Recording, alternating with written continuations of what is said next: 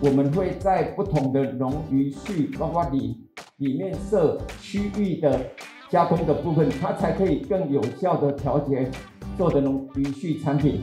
所以在这个六千多的农民里面，我们有两千六百多件的样品出来。那后来陆续开放申请之后，那我们终于有三十二家符合初级加工厂。加工以后，它的橱窗的寿命就有延长，那品质也可以做一些提升，那养分的浓度也是增高的。那对我们现在农业来讲，我们要进零碳排，我们希望这个食物能够充分的发挥，那这个小农加工就有具有这样的一个很重大的意义。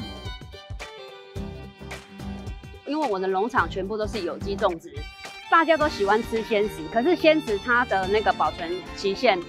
就是它是有限，就拿我的香蕉来讲好了，夏天五天它就化掉了。那如果说我去做加工的话，它可以延长它的保存期限，再来就它可以到在国外去。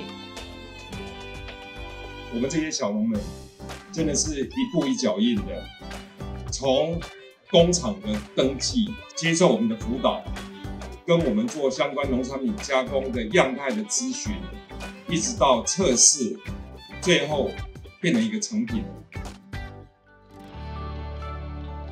我们的代工费非常昂贵，以至于我们的甲鱼是全台湾最贵。那现在有自己的初级加工厂，就可以把这一块的成本降下来，让呃我们国人可以享受到我们家的鳖。呃，养亲这种小农哈，那他们要进入这个市场，啊，其实是非常困难的。那所以我们就构思了，在呃这个月署的这样的一个环境之下，建立了。鲜鱼购这样的一个呃网络平台，开始是因为卖不掉。当你做一个生鲜的时候，你就 only one。开始在做变形，它的用途就会变宽，接触消费者的距就变高，然后营业额当然就可以慢慢看到往上走。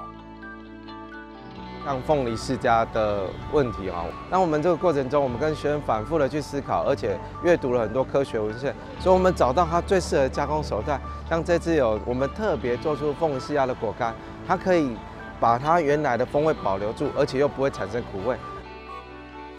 林务局推动林产品的农业初级加工厂的这样的一个政策，来增加林农的收益啊。那今年呢，我们已经开始呢协助三家的这样子一个林农或者是厂商。开始来进行啊，整个的一个初级加工厂上面的一个申请。那农村好物的这个部分呢，我们会主要是协助它后续产品开发以及后续行销的这个部分。那如果它有新品的发表或者是新品的研发，我们会有相关的媒合会。那如果更成熟的，我们衔接国外的一些通路呢，我们也都有持续的在辅导。